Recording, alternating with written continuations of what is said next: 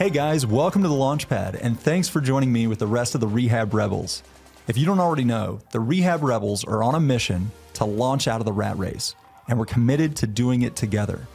If entrepreneurship, real estate, and passive income mean as much to you as they do to us, then you're in the right place. Sit back, buckle up, and prepare for launch.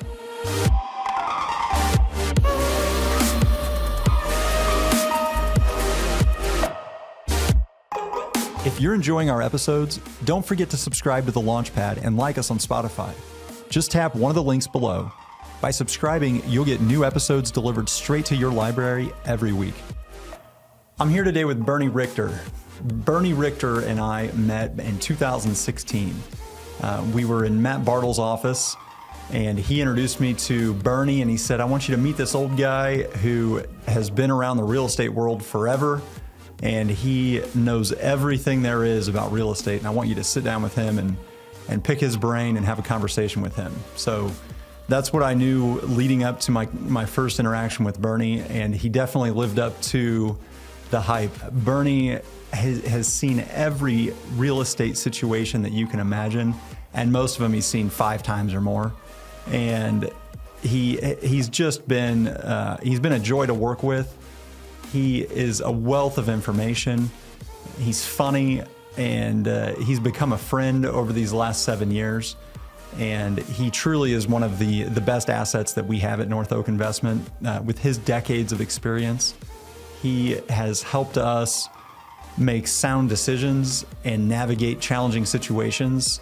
And his uh, access to, to his knowledge is truly invaluable. So, um, I'm, I'm looking forward to, to, to, everyone getting a chance to meet Bernie and uh, hearing from him, his perspective, and how he got into this business. So, without further ado, Bernie Richter.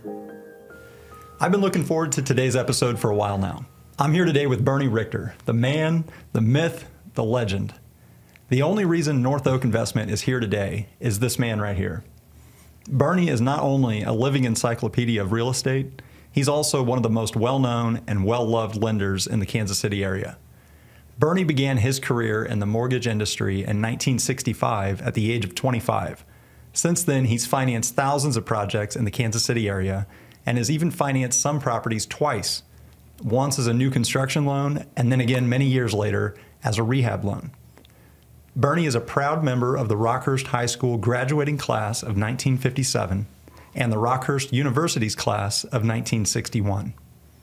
Bernie, thank you for joining us here today.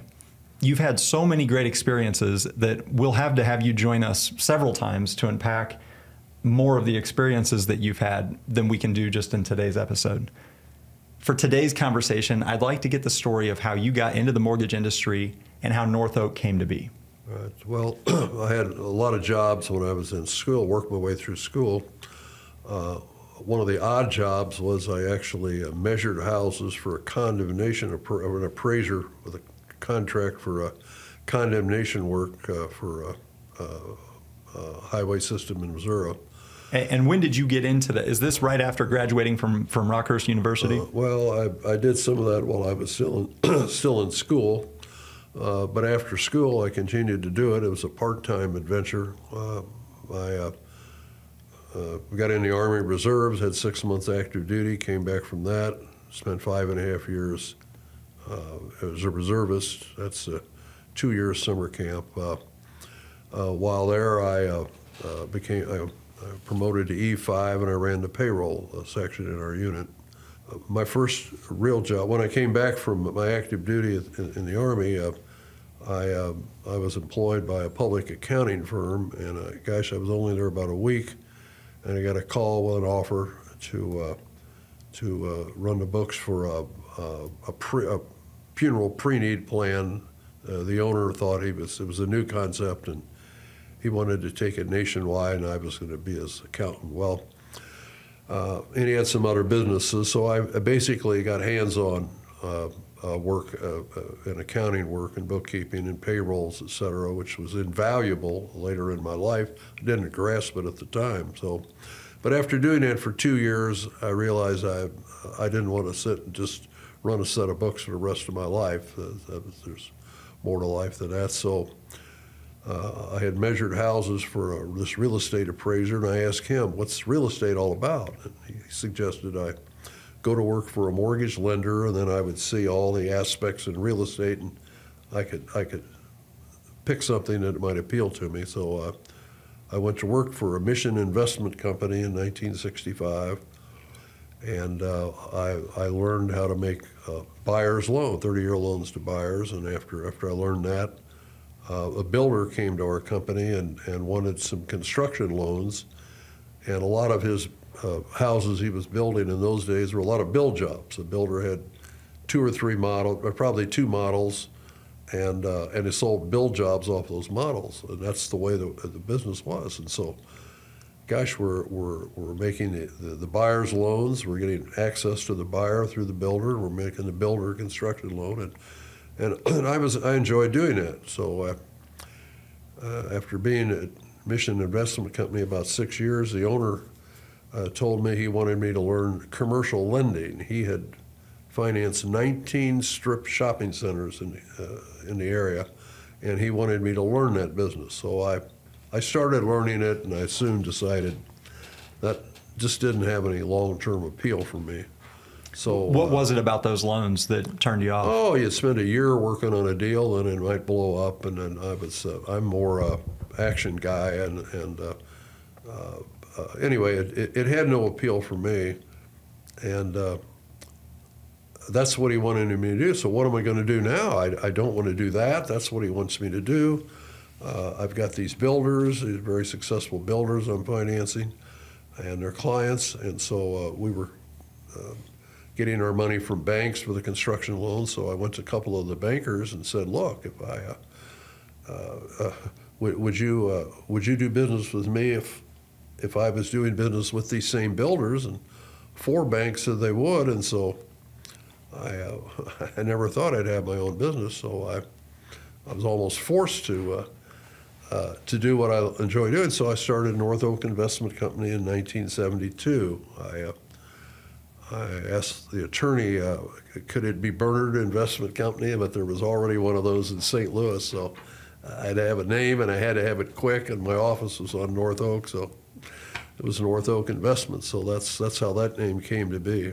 So uh, so I started the business with these uh, two the business up in Gladstone, Missouri. There weren't many mortgage lenders that far north yet. Gladstone was kind of out in the boondocks. I was at 6718 North Oak, and that was way out there in rural at, in 1972. And uh, so anyway, I, I got started, and that's that's how North Oak Investment started, and I just kept plugging away. Were, were they all construction loans at that time, or did you do any consumer loans? No, I was I was making the, the loan to the builder, and I was always making the loan and the loan to their buyers. Uh, times change. I was making other construction loans, so uh, not only was I making loans to the builders, I, I, found some other avenues to make construction loans, primarily to uh, some people building their own home, which most banks won't touch that person, and it made perfectly good sense to me, so I was able to make those loans. There were some companies. Uh, Standard Homes was the division of a lumber company, and they were, uh, for the lack of a better term, uh, they had kits.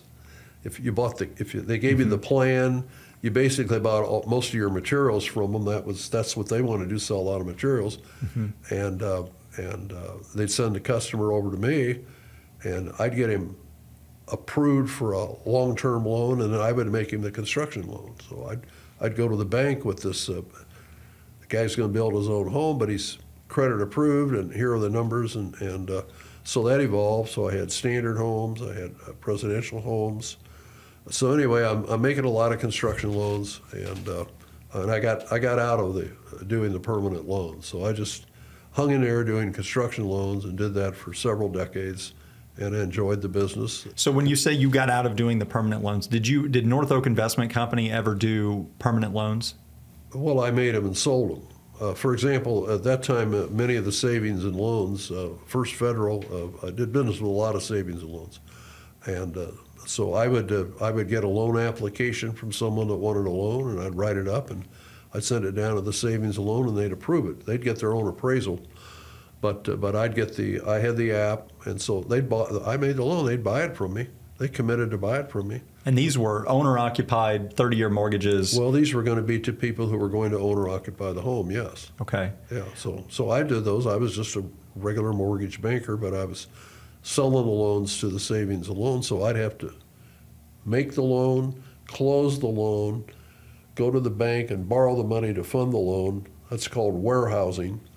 Uh, two or three weeks later, I'd get all the recorded papers and the title policy. And then I would deliver that loan to the savings and loan, and they'd review it, and then they'd buy it from me by paying off the loan I had at the bank to make the loan to the buyer. A tremendous amount of work, uh, all for one percent. so I, I got out of that. Uh, uh, I focused on the construction lending. Why, why was construction lending a better business? Oh, I was. Uh, I'd make a nice fee, and, and to me, it was uh, since that's all I was doing. It, it, it was it was easier for me to do my one thing over and over and over. Why were you just getting a 1% fee on the consumer loans and then you're able to get a better fee on the construction loan? Well, I might also get one percent on the construction loan in those days, so that's one and one's two. so it was all the same property. I mean, it was it was a. Uh, it, it's just it's just what I did. Okay, so you would make the construction loan To the builder. and then you would make the, the end loan to the buyer. When the house was finished, I made the loan to the buyer. Okay. So you then decide if you're making the same fee on both, why I know you you ended up getting out of the consumer loan and not making that end loan. Why did you get out of that? Well, I t- told you I made the loan to the buyer. Then I had to go to the bank and borrow the money and do the warehouse loan, deliver the loan. Tremendous amount of work. I was a one-man office, so one man can't do everything. And and I was making more and more construction loans, so I just But got out of the permanent lending business. didn't you have all those same problems with the construction loan? What, No, Why no, didn't the-. They were different animals. Uh, the the permanent loans was a different animal. Plus, uh, the world was evolving. Here comes Fannie Mae and Freddie Mac and all these people, and and uh, the permanent lending business became a business where you either did a lot of them or you did none of them. It was almost a volume business. Loans are made, booked, sold in the marketplace. As a one-man office, I can't do all that, so I faded out of that and stayed with the construction lending. One man could do construction lending. and did you, were you still facing the warehousing problem? Didn't have a warehousing problem. Wasn't making end loans. So the, I don't understand that. Can it, I had can- banks. I borrowed. I made construction loans. I'd have to go to a bank and and uh, borrow the money from the bank to make the construction loan. I wasn't sitting around here with with all the money to finance all these things. Uh, all my little, but I was a I was doing this business. I was in business for a while. I had a I had four banks that allowed me to start with them. I grew my number of banks. You know, if you if you're a good customer at the bank for several years, uh, it, you you pick up some more banks. So Uh, can you? I'm I'm I'm still not understanding. Can you talk us through the warehousing situation? How did that differ from the capital source of the construction loans? What was the key difference in It's those? all a bank. it's all a bank, but I didn't want to go through the work of making the buyer loans. Uh, uh, there were different banks doing that. There are warehouse lines at banks. Normally, you use bigger banks for that, but but just the uh, I didn't. I, I was making enough construction loans that I didn't have time to do both, and it was harder and harder for a one-man mortgage banker to be in the permanent loan business. So I faded out of it. It's Okay. just it was just the times, and I was happier doing it. I'd rather do the construction loans. Permanent loans are you're just doing it out of a manual. You, you got to have 37 pieces of paper to make the permanent loan. There's it's it's what I would say it's it's not as fun as a construction loan. There's there's a uh, it, it's just a cookie cutter. Uh, cookie cutter is not the right word, but but permanent loans. I didn't want to do just like bookkeeping. I didn't want to do permanent loans the rest of my life. It just didn't just didn't fire me up. Is that the disclosures and all of the paperwork? all, all the you have to do all the paperwork on every deal. It's, and that's more than on a construction loan. construction loan's different. Everyone's a little different. So every property's different. Uh, to me, it was more I don't want to say entertaining, but uh, but I enjoyed construction lending where I didn't enjoy the permanent loans. Plus, the permanent loan business didn't fit my operation as a one-man office with a part-time secretary. Just didn't, just couldn't do it. Just didn't want to do it. How how were the, these financed? So the How do you mean? Were they? Did you do these loans in your name, and the bank put up part of the money, and you put up part of the money? How did no, the How did no, the financing no. work? North Oak Investment Company made the loan. Okay, so went down to originated the bank paper. in North Oak, borrowed the money, and the collateral was a loan. okay. It's real simple. I did that for several years. Uh, once I got out of the permanent loans, and uh, and, uh, and and so now I'm I'm I'm essentially at the bank. I'm the borrower, with uh, and the collateral is all these construction loans that I made. Well, that worked for a, quite a while. How much skin did you have to put in the game? Oh, there was no skin. Y- Okay. No, but I, but my name's on the note. Oh, so uh, so uh, uh, we live in a world of business cycles. So we had a rates were going up. I got into mortgage business in 1965. Home loans were at five and a quarter. It went up. I didn't see five and a quarter again until four or five years ago. When it went through five and a quarter and went to three, I never saw three percent in my life. I saw 17. that was a year you put your feet up on the desk and read trade journals because there's no business, and I'm a small little one-man office. That's the only way I survived. Uh, and- and, you know, it's it gets it gets fast, it gets slow. It's it's a cyclical business, and it's a, it's it's a, so I got caught in in a, in a recession in 1978. Uh, uh, interest rates went above 8%. We had a usury law in Missouri. The limit was 8%. It was illegal to make a loan above 8%. Now you're getting the discount points and all kinds of crazy things. And, and so the business slowed down. But when it slowed down dramatically and fairly quickly, I'm caught with all these construction loans. And down at the bank, I'm the borrower. Well, I had builders dropping like flies. You, you, go, you go kill a ho- new home market for a year or two. Some of the builders don't make it. That's my collateral, and these guys are dropping. So, uh, So what did you do? How how did you get out of that situation? well, I um, I uh, I got all the houses sold. Uh, the bankers understood they didn't want the house, so uh, so I got rid of. Uh, there were about forty houses. I got rid of all of them, and uh, and uh, then I went down visited with the banks about. Uh, the banks basically got all our principal back. I got rid of the houses. They didn't. They didn't come out of the bank do any work. I did all the work. I made no money for a year or two. And these were all new construction New loans. construction, You yeah. weren't doing rehab loans No, back then. no, no, no, So no, how no. did that happen? How how did you get into doing rehab loans? Well, that came later. Uh, that, that gets me out of the box in 1978. So finally, uh, I uh, I had a meeting with all the bankers, and told them that I, you know, I, I wanted to continue in business, and uh, I wanted to do business with them, and, and so we, we worked out a formula, and uh, and uh, but I made a change in the way I was doing that business. From that day forward, uh, I no longer went down to the bank and borrowed the money in my name, pledging the collateral. I now sold the loan to the bank and serviced the loan for them. So the next recession came along, it wasn't my loan and I wasn't on the hook. That didn't mean I, I tried to work the problems out, but in, in new construction lending, when you hit a recession, it, it's, it's a tough bag of business. Uh, you, you know, the recession comes, the rates are going up, the market stops, and the builders hadn't finished the house yet. By the time he gets the house finished, there's no buyer, and it's a new house, you know.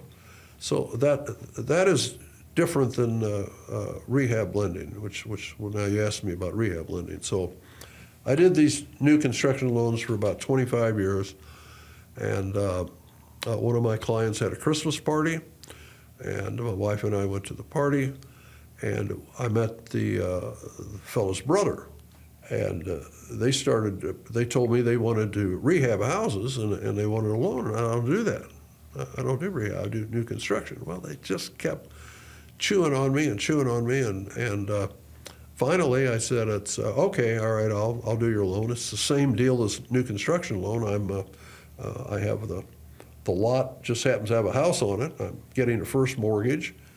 Uh, praises out. I make a conservative loan, and, uh, and and so I made him a loan, and I charged him the same fee that I was charging for the construction loan, and they said that was fine. That was fine. So uh, we did one, and they sold it. They came back at me and wanted to do another one, and I said, well, it worked out. So I did another one, and Then they did two or three more. And then uh, one of them called me up and he said, You know, I've been thinking, uh, we're successful uh, rehabbing these houses and we're doing all the work ourselves. You know, if, if we got a crew, we could, we could do more volume. I put the pencil this. I think, I think we could do a lot better if we got a crew and did more houses. And he, I said, Well, fine, go for it. And so he went to his partner, and his partner said he didn't want to do that. partner just wanted to keep, keep doing it himself. And so they split partnerships split because you have different, you know, they like each other, but they just had different goals. Their goals changed. So uh, now I got two customers. So the customer that wanted to do all the work uh, bought a house in Waldo, and the first day he owned the house, he had a he had a dumpster delivered, and he had two fellows in there cleaning the house out, and a young man named Steve went to the house and approached these workers and said, Do you all own the house? No. He told them how to find the owner. Steve went over to the owner and he said, I wanted to buy this house. How much did you pay for the house? The fellow told him, he said, I'll pay you 10000 more than you paid if you sell it to me right now. So my client called me up and said he wanted to do this deal. And, uh, and, and, and uh, and he says, but Steve will need a loan. so Steve came to see me, and I, I, made Steve a loan on the very same house that I just closed on. So I made two loan fees on the same house at the same time. I want more of those deals. So anyway, so the, so now I got so now I got three clients, and uh, and within a couple of weeks, uh, uh, a friend of Steve, that was a fireman, came to me, and he wanted to be a rehabber. And so now I got four clients, and these these four guys are telling their friends about this, and. And are you still banking these at the bank? I'm so, oh yeah, I'm banking you're, at the bank. You're originating like the loan, uh, yeah, assigning yeah, the loan to them. No, I'm, I'm selling the loan to them. Okay. I'm selling them the loan and I'm servicing it. I'm performing. Bank's happy. They're in the lending business. Bernie's a performer. Bingo. So, didn't take too long. Well, and then uh, the light bulb came on. My biggest problems in real estate were in the down market with construction loans. So, well, now let's compare the construction loan with the rehab loan. The rehab loan is probably half the size of the construction loan. Mm-hmm. And it takes a lot less than half the time to get it finished and on the market. So, and I'm making the same fee, so I'm getting I'm not a scholar, but I could figure that one out. This is well, I can, I can do a lot more loans with the same pot of money, and and so uh, I got rid of the uh, construction. I just faded out of the construction loans, and the, and this uh, rehab uh, uh, lending ended. So then the joy was the next time we had a recession, I didn't get caught with all these half-built new houses that nobody's going to buy my clients who had these little rehab houses, as the market was changing, they were unloading them pretty fast. They could get them sold pretty quick, and if they couldn't sell it, they could put a runner in it and go get a loan and pay me off. So for me, uh, rehab lending is a lot safer. For my clients, it's a lot safer than being a, a, a, a new construction person. Now, those are two different worlds, mm-hmm. but, but for me and my one little small little business, this was a much better business than construction lending. And so that started in about 1997, and it just it just grew rapidly. And uh, you mentioned 1997, uh, and I have a I have a letter of recommendation here from Raymond Sonnenberg, uh, dated February 23rd in 1994. You remember this? Oh yeah. So I'm just going to read a couple of paragraphs here. Prior to your leadership of these two constituent support efforts, the alumni dance consisted of a dinner party for 25 couples, while the golf tournament averaged fewer than 40 participants. Subsequent to the implementation and execution of your program, the alumni dance enjoyed over 1,400 individual ticket sales, while the golf tournament annually was over, oversubscribed in excess of 200 entrants. Not only did the events become financial as well as school spirit success, alumni fundraising jumped from under $100,000 annually to $300,000 while enjoying the participation of nearly 50% of the Rockhurst undergraduate alumni. These benefits were realized in a span of approximately 36 months and helped set the stage for a subsequent for a subsequently successful capital campaign totaling approximately $10 million. Your brand of personal commitment and professional expertise is priceless. If I can be of help in any way, please let me know. Ray Sonnenberg. So what the, you said in 1997. Now you're kind of rolling with making rehab loans, and then what? Tell me about this. What what, what was your involvement well, there? Was, he he wrote that letter then, but that that went back before that. Two two stories quickly. I won't bore you with it, but uh, when I was a senior at Rockhurst uh, College in those days. Uh, we had class dance. It was an all-male school. We had a class dance that was held on the campus the Jesuits weren't too much in social life. So, uh, so anyway, uh, so we were going to have our senior class dance, and uh, and a couple of us. Uh, I was the class treasurer, and, and we said, you know, there's never been a big band at Rocket. Let's let's let's go. This is our this is our time. We, got a we got a class fund, and let's let's. So uh, somebody uh, got a contract with the Jimmy Dorsey Orchestra and uh, you had to have a down payment.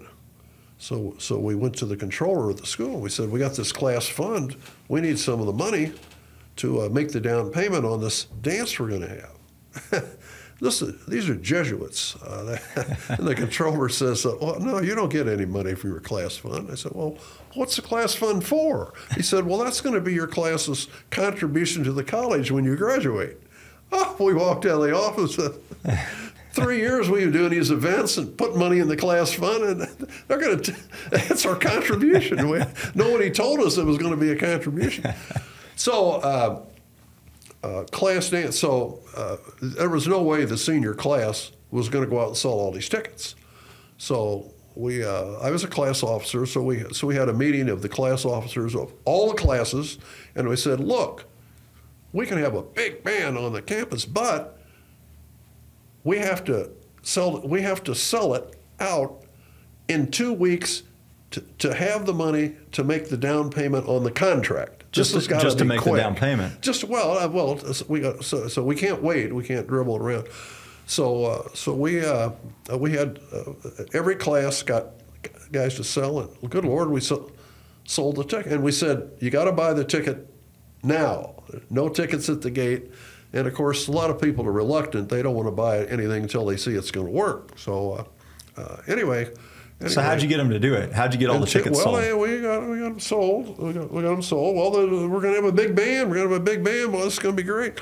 So, uh, so anyway, it uh, was in the school newspaper and everything, and we, we sold enough tickets, and and uh, there's some other stories, but uh, essentially, that's the only big band I ever had at Rockhurst College. So, 13 years later, well, what was the what what was your theory on that? Because you've I've heard this story before, and you're you, there was there's a theory that goes along with it. No, I don't I don't I don't remember. I, maybe I don't want to. Well, you said that. but you said before there were uh, the the the alumni gatherings weren't a real exciting thing to do. Oh well, and now they were fairly well, expensive. I'm talking about that's when I'm in school now. Uh-huh. 13 years later, uh, I'm on the alumni board, and Ray Sonnenberg was hired to be the alumni director prior to that time, it had been Jesuit priests and do little events, and so uh, up to that time, they called they had an alumni dinner or dance or whatever, and it, it was uh, 25 couples. It, cost you $25. You went to the Glenwood Manor Motel or something, and you had a rubber chicken rubber chicken dinner or something, and somebody played records, and that was the big night. Well this was an all-male school, and you can imagine the wives are not for 25 bucks. They go down to the Plaza, the Plaza Three, and have a good Saturday night with a steak and a couple of drinks, and have a good time. They didn't want to go to this rubber dinner. So Ray says, uh, Bernie, when we went to school, we all lived in the parishes around Rockhurst. He said it's several years later.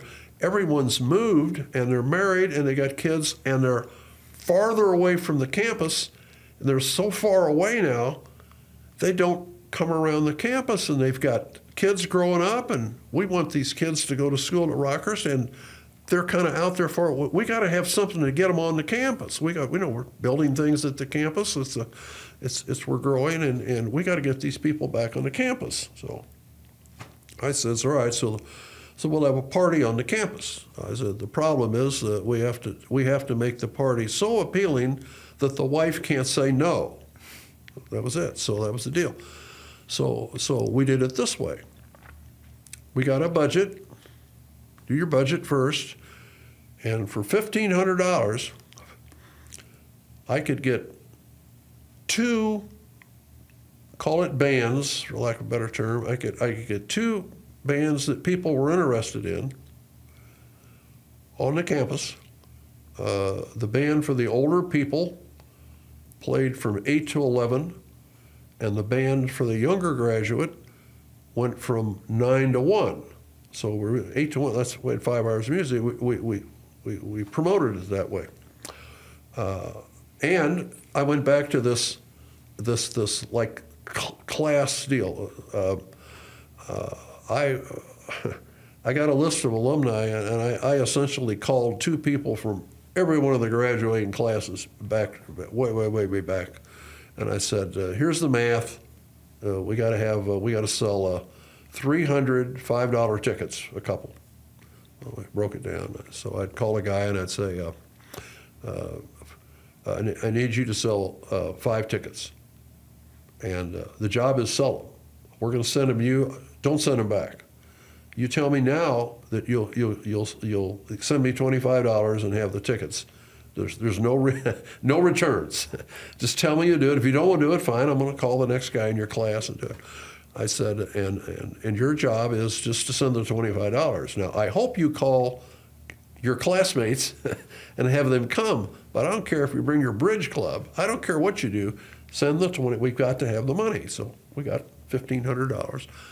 And we were able to have 300 couples come. That's 600 people. We were able to have 300 couples come at $5 a couple, $1,500. And for that, we provided for five hours two bands, popcorn, soda pop, and beer for five dollars. now, what wife can top that deal? There's no topping that deal. There's no way.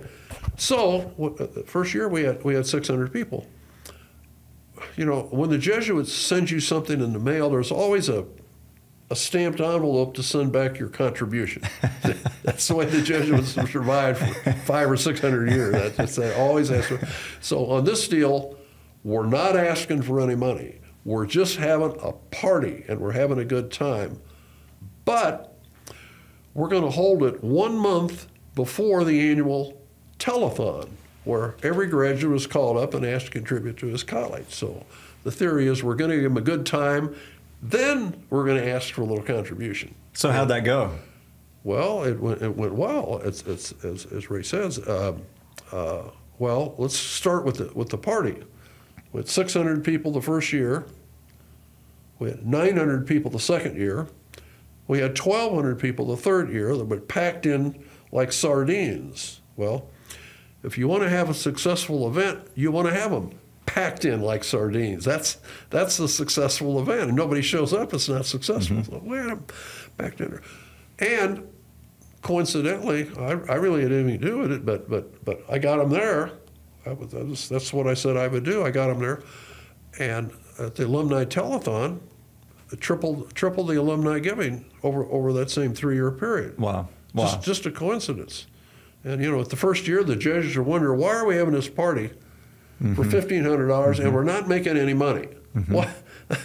that isn't the Jesuit philosophy. Mm-hmm. you made no profit on that party.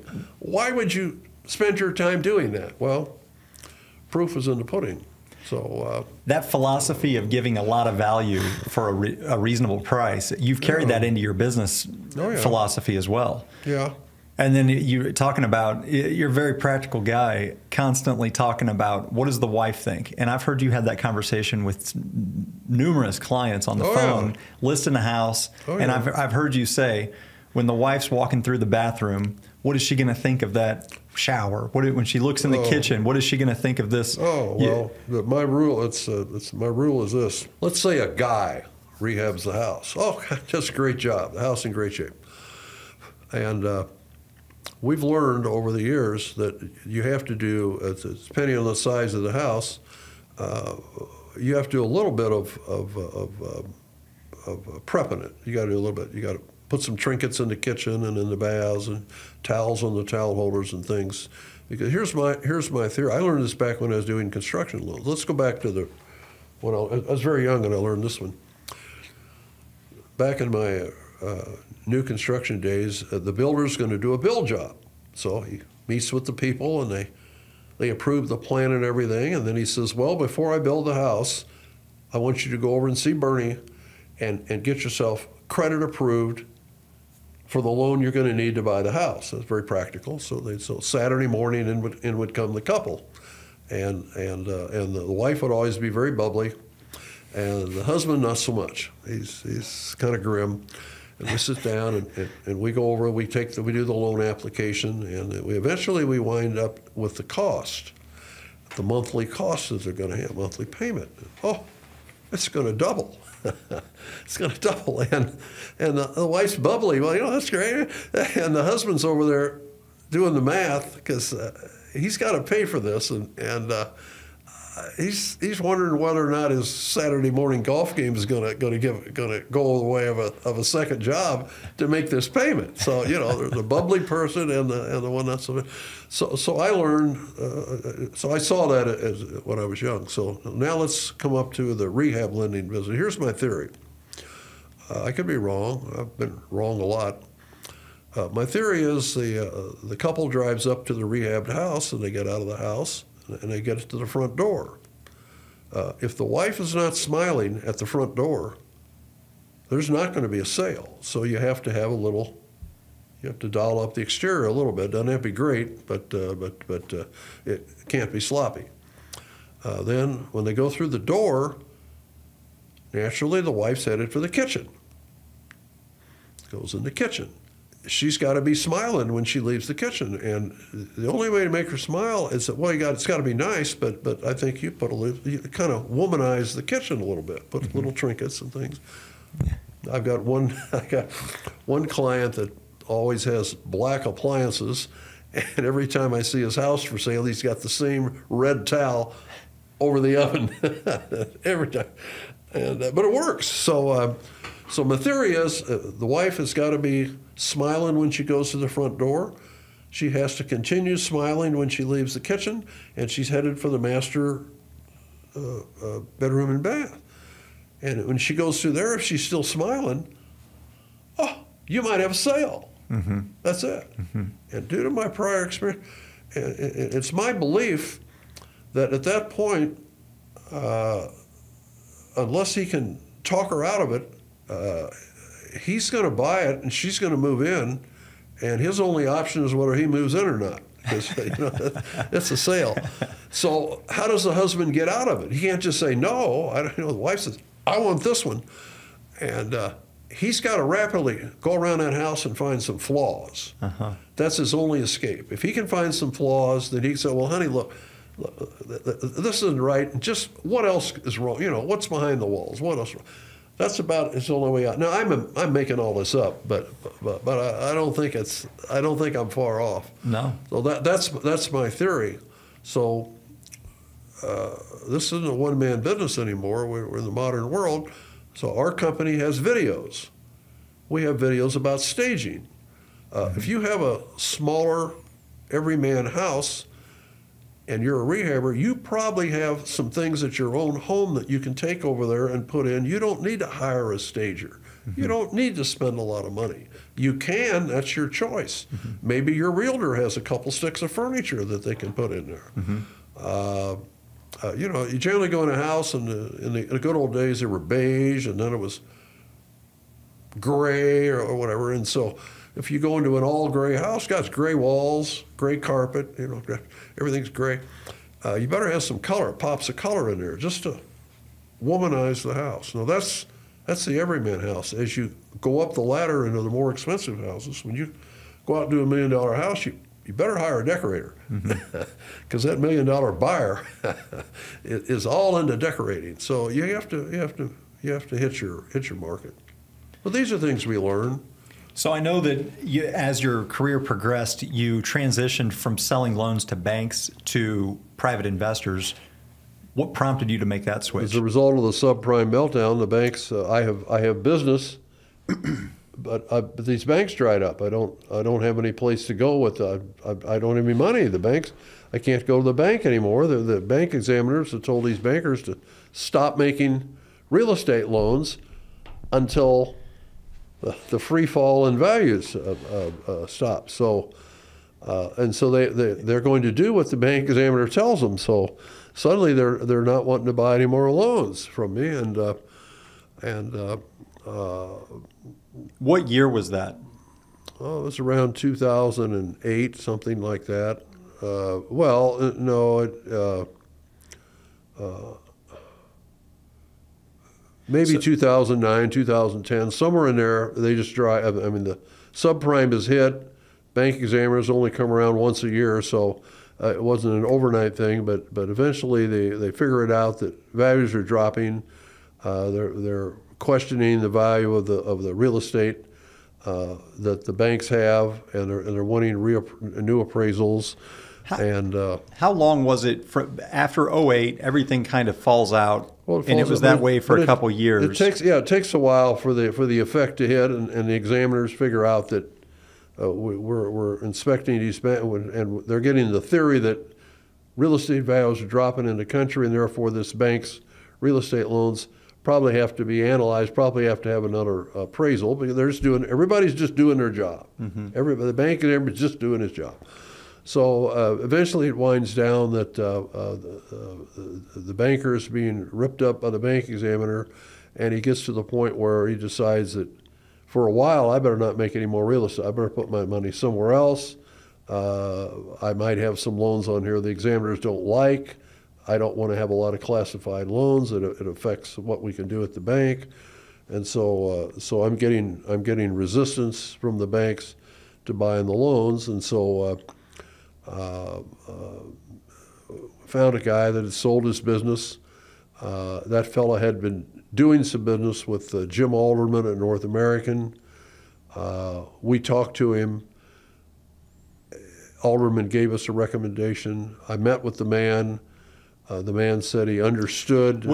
When, so when were you? I don't remember the year. The, how far into the to the the 08 crisis did you get before you started selling loans to a private individual? Well, it was when the banks dried up, but I don't remember the exact year. Yeah, aside from the year, I, I had no reason to. I had no reason to go anywhere other than the banks. I'd always, always gotten my, my money from banks. But so, suddenly, I've got loans, and, and suddenly the banks are dry. One a bank dries up, another bank dries up, and and suddenly we got to do something. So uh, we find a guy that has sold his business. This fella had done some business with Jim Alderman at North American. Uh, I had sold, I I sent a lot of customers to Jim Alderman. He's the number one uh, loan fellow at North American for many, many, many years. Uh, good reputation, uh, straight shooter. If he tells you something, you can believe it. And uh, and uh, and and this fellow had done business with Alderman, so Alderman gave us a plus. And so the man said, "Well." Uh, okay, he said, send, send me a million dollars worth of loans. So we did, and then. I didn't realize that both. So you're not talking about Matt Bartle right now. You're no, talking about I'm, your, talking your about, other guy. I'm talking about the, the first person.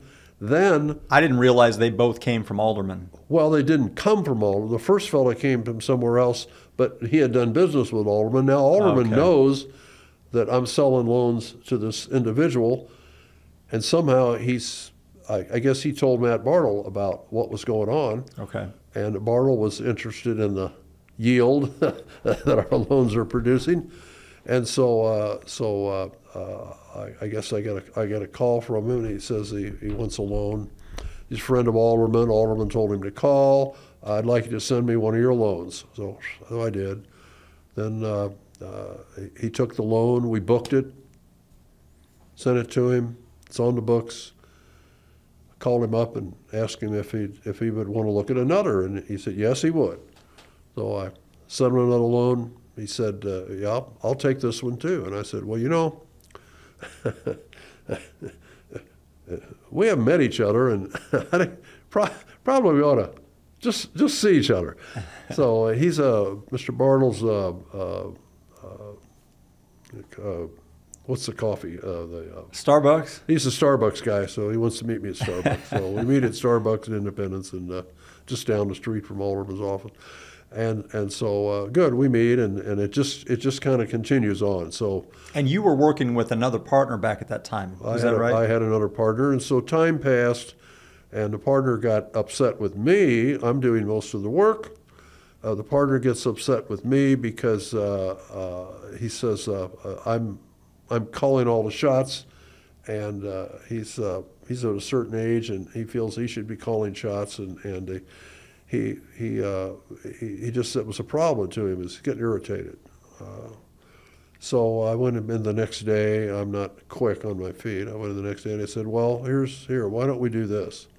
Why don't we just part ways, and you you take the first guy, you essentially found him, and uh, and and and I'll go see Bartle and and and I'll business with Bartle and and Okay. uh, and and whenever it works out, I said it's not going to be an overnight thing. So at that point, uh, I'm older and I want to have a younger person with me and I had a fellow in mind, and I went to Bartle, and, and, and so that so we talked. I said, but we can't do it now. This fellow I want to be my partner is a borrower, and you've got a couple of his loans, and I'm not coming with him as a partner until his loans are paid off with you. I don't think that's good business. He said, okay. So a couple of months passed, and then then Mr. Bartle called me, and he said, come down. I want. I got another idea. I want to talk to you. So I go down to meet him, and he says. Uh, I got another idea of how we ought to do this. He says, uh, I don't want to take you and your partner. He says, uh, you're older. Uh, I want you to, and I like your loans, and I want to have these loans, but uh, I want you to train my guy to do what you're doing so that whenever you quit, you work as long as you want, whenever you quit, then I'll have the loans because I want the loans. I, like the business, I like the loans. And so I said, well, okay, let's make a deal. That's, so we work up a deal, and, and that's, that's, how, that's how you and I got started. Yeah, and back at that time, yeah, in in my life, I had met with with Matt, and Matt's uh, my brother uh, ended up marrying Matt's daughter, and they dated for eight years uh, leading up to that. Um, and at that time, I was running a construction company, and about six months prior to the time that you're talking about right now, about six months leading up to that, I went and met with Matt at his office, and I knew that my brother's girlfriend's father was this successful businessman and smart operator. And I went and sat down in his office and I laid out all of the things that I was doing with my construction company. And it, they're just it was a low margin business and it was a, there were a lot of different things I consulted him with. And he sent me home with some homework to try some things in the in the operation. Well, six months later, I had no idea that you, this is where my story merges with yours. You're having this conversation with him. Now, here I am having my own conversation, had nothing to do with lending or mortgages. I'm trying to get advice for my construction company. He says, Tommy, you, you've tried these things, and I want to make you a proposition. I got this guy, Bernie. I'd like for you to meet with Bernie, and I'd like to offer you a job if you would be willing to walk away from the construction company. So I had to go back and do my thinking about that, and it, that, that's a whole other story. But long story short, I come in and said, "Yes, I'll, I'll do it," and that's when I first met you. You remember that that day, Yeah, first first Yeah. day I came in and met you, Yeah. met you there. Where where was that? That was, Over it. at Matt's that, was, office. that was in Matt's office. It was kind of a weird meeting, but uh, yeah, you know, yeah. I felt the same way. I didn't know. None of us knew what was to come. Yeah. You know. Uh, Yeah. So anyway, so we struck the deal, and so uh, in you come, and and uh, after a while you learn the business, and uh, and uh, we're doing things my way, and it's uh, I'm I'm just one man band with you in there, and you're learning, and that's great. And uh, the next thing I know, uh, you're over there with a laptop. with don't tell the story about my feet on the Well, desk yeah, again. you're over there with a laptop, and your shoes are off. You got your stocking feet up on the desk, and you're you're pecking away with a laptop for about six months, and I don't know what you're doing. Don't care. So uh, anyway, the business is going fine. uh, So the next thing I know, you're creating a program to take what we do and to put it into a program. And so that's that's what happened. I couldn't. I'm not a program guy. I didn't grow up. Hell, I grew up. Uh, first time I went in the mortgage business, I have to give dictation to a secretary who's, who's, who's taking shorthand, going out. and typing a letter with carbon paper and a yellow rayon paper.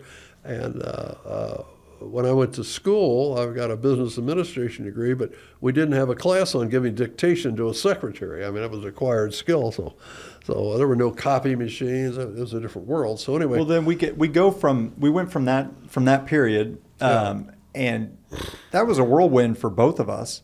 And we had it. Yeah, I'm learning this business. You're getting you're having to deal with having me in the office, eh, which was a no, challenge. no I'm sure. problem. No problem. Um, and and I'm not uh, I'm not fishing for for compliments with the with the REIT structure. But in your perspective, do you think that it was a good decision and a good move for the company to switch to that structure? Is that it? Was that a, a, well, a plus? In the, in the in the first instance, in the first instance, I I uh, I thought it was a good idea, but I thought there's a lot of money to a REIT, and it's a, here we are with a a REITs for a, is it REITs for a bunch of of uh, office buildings or shopping center, whatever. It's a, I've never heard of a REIT for rehab loans in Kansas City, Missouri. I just it's it's not making sense to me, but at the same time, we're selling loans to Mr. Bartle and several of his acquaintances, and they're buying these loans individually. And as individuals buying the loan, they have some personal involvement in, in the mm-hmm. loans. And if they end that and pool their money and put it in the REIT, they're going to get the same return and they don't have this personal involvement anymore. And for me, it makes sense. They've got a life to lead, a business to run. They don't want to horse around with the with, with, with draws on, on, on rehab loans. They just want the return. And, uh, and uh, uh, so uh, I can understand the, their some reluctance because they're a little more hands-on with each loan. Yet, uh, they're always getting their principal and they're always getting their interest, and they have for years, and uh, and they're not getting that down at the stock market. So uh, uh, it, it's it's uh, we haven't been messing up, and uh, so all that happened is they they they they put their instead of buying loans from us individually, they put their money in the REIT. They're getting about the same return in a monthly check that they weren't getting. They're getting a monthly check uh, with about the same return, and they don't have to be personally involved anymore. And, and that brings up the point of monthly interest.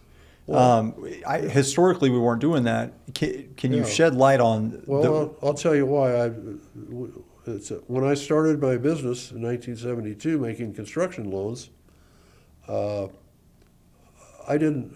Uh, banks that I'm doing business with are collecting monthly interest on their loans, but I'm a one-man office with a part-time secretary. I can't make any money figuring the interest on every loan every month, asking for the interest and collecting it, sending to the bank and accounting for all that. All that work for nothing. So, uh, uh, and I'd always been doing it at six months. So I went to the bank and I said, "Look, it's a six-month loan, due in six months. We'll pay you your interest at the end of six months, uh, and extend for three. Uh, and and I gave them a little higher interest rate than they were getting on their own loans to compensate for the not earning interest on interest. Uh, they had a computer; they could earn interest. I didn't have a computer, so I, I couldn't. I, you know, it didn't make any sense to me. So, so historically, I'm I'm doing six month loans with no monthly interest. So, when this REIT comes about, and now we have to pay monthly interest to the investor, we now have to collect it from the borrower. So we had to sell that to the borrower, but it really wasn't much of a sale because where else are they going to go? Every other hard money lender that I know of is collecting interest monthly and always have been. We're, the- we were just about the only game in town not collecting monthly interest. So I don't really think we lost anybody. If we did, we didn't lose very many people over going to monthly interest. Now, because we've gone to monthly interest, we're still underwriting the loans the same way we always have. Uh, never in my life have I made a loan to get a fee. That's just not, just what's the point of it? You're just killing yourself. yeah. So we make a loan, we make a loan, we, we underwrite them, we underwrite them the same. We're not concerned with the fee. We get a fee as we go along. We do business, we get a fee. But, but you don't go down to the shop to shove a loan down somebody's throat so you can get a fee. That's not what you do. So uh, never had to do that, never will do that. So anyway, now uh, we're underwriting the loans the same way we always have, uh, but we're not waiting six months to see whether or not the guy can pay anything. We're, uh, we, we, we now, with, with the REIT, we, we have a hard and fast rule. If they're three months behind, we foreclose. So we have a margined loan, and we're going to foreclose if, if they're three months behind. If, we're, if we made the loan properly and margined it properly, you're not you're not going to lose. Now, never say never. You're always going to, uh, you're always going to have something goes wrong in, in life. Somebody's going to get divorced. Somebody's going to die. Somebody's going to have a, uh, thing, things happen in life. Nothing's perfect. Never And- will be. But, but, but you- our loans are better in the in the REIT way we're doing it with the REIT than we were before the REIT. That's period. Same loans, same underwriting. It's just a better concept. Yeah. And as we over the last seven years, you and I working together, your role has has changed from the the day I walked in. You were doing everything. You're doing draws. You're doing Yeah. underwriting. You're closing the loans. I'm You're a- doing the, the every single piece. What does that role look like for you now? What do- what do you see your position now? Well, let, let's go back to the beginning. I'm I'm kind of a unique guy. Having a one man band doing doing mortgages.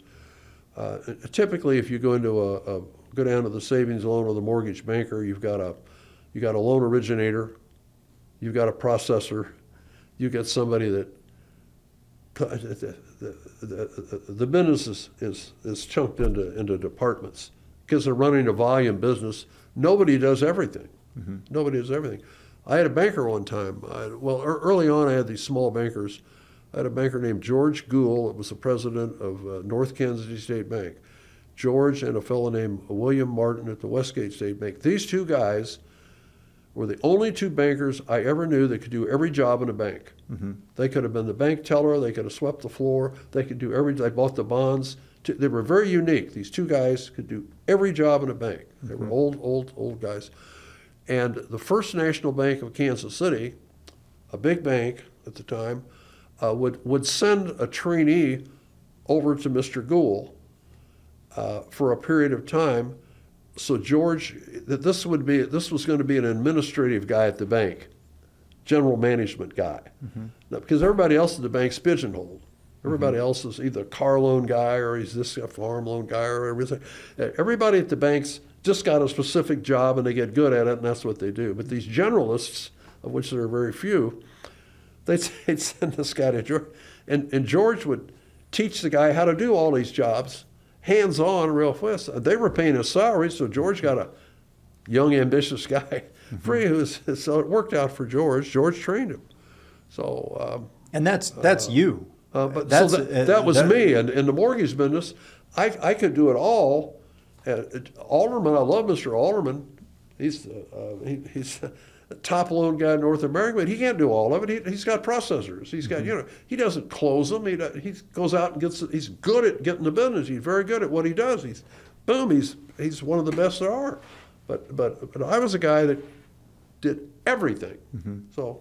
I understand the mortgage that- business. that's- I can do all aspects of it. your experience is a, it's a huge asset for for our company because we're coming in we've got the, the I was going to say energy but you've got as much energy as any 30 year old guy that I know I mean you could talk circles around uh, anybody um, and you've seen so many things but I've had the opportunity to come in here and to to to, to hone my skills and try to build a business but to have your depth of experience and the fact that you are the generalist that knows how to do every single departmental role and not only that but you've had decades of experience with it that's a huge asset for our company it's like we're a young company with a ton of experience Except running that program. I have no interest Yeah, in that- it. I didn't grow up staring at a screen. In high school, Mrs. Molander gave me 70 in typing because she didn't want me back. but that program, that program is your is The basically the your pro- brain The program is, is, is, is runs, and now that we're into this, the way we're doing it, uh, the program, the way the program's been written, the program underwrites the loan so that we're making a better quality loan than I ever made. There's Well, that's no- the no power. question. that's the power of an algorithm. But the algorithm is tailored off of all of these countless Well, conversations that, I we've had. I'm- So, but I'm, you know, I'm the buggy whip guy. So we don't do buggy whips anymore. But I was good at buggy whips. So, so yeah, I, I understand the mortgage business. I just don't understand and care about programming. It's kind of like back. I didn't want to be a bookkeeper all my life. I mean, Mm-hmm. it's, there's certain things I don't want to do. And so, what do you do now in the company? And you know, I know, but Well, for for our listeners, and and you go to our website and you'll see it. We specialize in. There's always somebody new coming. There's always a. We'll, we'll get a call from a fellow, and he says, uh, uh, uh, "I own a house, and I want to fix it up and sell it." And and and uh, uh, well, where'd you get the house? Well, it's my grandfather's house, and then then it went to my parents, and, and now it's it's my house, and but it needs to be fixed up for me to sell it. It's mm-hmm. there's a lot of money there. There's a lot of wealth there, but but but but I, I can't go down the bank. They're not going to loan me any money. And so so boom, we we take him and we make a conservative loan, and he comes in and blows it through our program. Mm-hmm. Bingo! And after and after he after he completes that, now he's got a now he's got some money in his pocket instead of a, house. Uh, and if he liked it, he, he might come back and get another loan from us. I, I overhear you on the phone all the time, un, uh, untying some riddle in some real estate transaction. Yeah. That's such an asset for our clients to be able to have you as a resource. I mean, it, Oh. I, you'd be hard pressed to find some some situation in real estate Well- that you haven't already seen several times. Well, I didn't invent that. Uh, when I was younger in business, uh, I did a lot of business with First Federal Savings and Loan, and their attorney was uh, Bernard B. Levine, Bernie Levine, another Bernie. And I became friends with Bernie. Bernie was a uh, Bernie was the only guy I ever met that could answer my questions before I finished them. He was so quick. I mean, I'm I'm not quick. Bernie's quick. Uh, I had a very few foreclosures. He would do the foreclosure, and he got paid for the foreclosure. Uh, I would call him for advice. I would, I would have a real estate question. Now I'm on the phone. Uh, I'd say, Bernie, this is Bernie. Here's the question. Give him the question. You give me the answer. I say, thank you, and hang up. This was less than one minute. Never got a bill. Never got a bill. Well, uh, later on, I figured out uh, Bernie was the Bernie was the attorney for uh, First Federal Savings and Loan, for Barney Carr Bank, a nationwide commercial guy. William Kemper, he was he did a lot of work for William Kemper. He had a lot of high-powered clients and me, so I I felt that, you know I'd, I'd, I'd call him and I'd get these answers, and uh, uh, it, it, it's funny we we became friends and. Uh, uh, every year, I would take my wife out for the anniversary dinner, and we would take the Levines. and we'd, we'd have the two hundred dollar dinner. Levine would always pick the place, and we always go. He'd pick a really, he'd really pick an expensive place. And So we go have our expensive dinner every year. Uh, so it's kind of funny to my wife. So she tells people, "Well, my anniversary dinner with my husband is, is with Bernie and Joan Levine. They're wonderful people, and and uh, and uh, it's just, just just the way it worked out. so I didn't pay Bernie any money, but uh, but we. Uh, uh, uh, he got some dinners and a couple trips, and Well, you're the- we had a great time. you're the- now you're- I'm the I'm, you're the I'm- Bernie. I'm kind of the Bernie Levine in a way, 'cause I- Right. just just because I've seen a lot of things, Yeah. and uh, in real estate, there's always a, a, you know there's always a, a riddle, just Yeah. like these. Go on our website and see the one about quit claim deeds. These people call and they have these deeds, and it's a, you know, quit claim deeds is one side of one piece of paper, and really, all you've got is the, the guy that's conveying, the guy that's receiving, and the and and and the ad and the address. That's all it is. Like Yeah. buyer, seller, and address. And it's just amazing how you can mess that up because you because you don't say uh, if you say the property is going to John Smith, you have to say it's going to John Smith, a single man, or John Smith, a married person. You can't just say John Smith. Fatal. yeah. People do it themselves. You know, it's so easy. You just fill in a couple names and, and an address, then they put the legal description off the tax bill that's not the way it ought to be. So and all, all of this advice, and this is why yeah. all of our clients so, love you so much. they call in, they talk to you, they are able to unpack whatever situation they have and get the right the answer. Yeah. And it, for for anyone who's watching who isn't already using Bernie as a resource, he is an encyclopedia of real estate situational problems and solutions bring your questions to Bernie. He could save you. We're not going to charge you for it. Bernie be happy to answer your question. And it's just, it's a, you have a wealth of knowledge that's and not only a blessing to them, but for all of us in, in the company. And you don't have to take me to $200 dinner. I'm okay. I've had enough of those. all right. Um, so I'm happy to answer them because, uh, uh, you know, you get people over the, over their little hurdle and they, uh, uh I used to say this uh, early early on. I said a, a lot of my clients, like like the plumber that's building his own home, the plumber building his own home out in the country can't go down to the bank and have the banker loan him the money. The banker just doesn't. That's the, the banker wants to do business with the professional builder that he's going to do 20 loans a year with or something like that. He doesn't want to mess. He's not. His business model isn't built to deal with the plumber that walks in occasionally and wants to build his own home. Mm-hmm. But that was my whole business. I'm making. I understand the plumber. I understand what he's doing. He's essentially building a house for 80 cents on the dollar because he knows how. I understand that. I can relate to him, mm-hmm. and then I can take this deal and I go down to the bank and and sell it to him. Mm-hmm. Because you know bingo. So I mean that that's what I did. I was the man in the middle. Yeah. Uh, allowing these two people just to do what they do and be happy doing it. I was the guy in the middle. Well, you know, and that makes me think of of our our plan for episodes in the future of this show. There are so many things that we could dive in on different situations that have come up and I'd like to do that with you and we can we can sit down put our heads together and figure out what are some things that people would benefit hearing about? Mm-hmm. We need to do some thinking about it. And we could do episodes that would kind of dive in on that subject and give you a chance to tell that story. What yeah. was the problem? How could they have avoided it?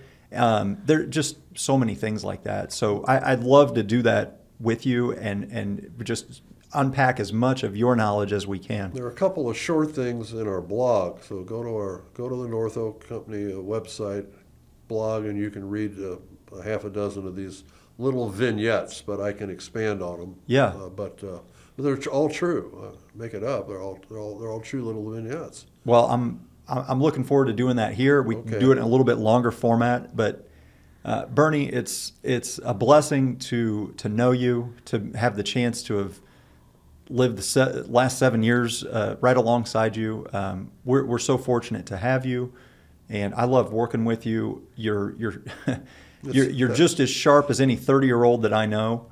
And um, it, it really is a joy to work with you. And I, I appreciate you taking the time oh. to, to do this with me.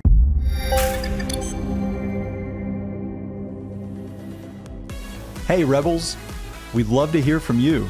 Please take a moment to rate and review the Launchpad. Your feedback helps us improve and reach more listeners like you. We'd love to talk with you about how we can help, whether that's financing your next deal or partnering with us as a passive investor. If you have any questions or would like to learn more, leave us a comment and one of our team will reach out to you.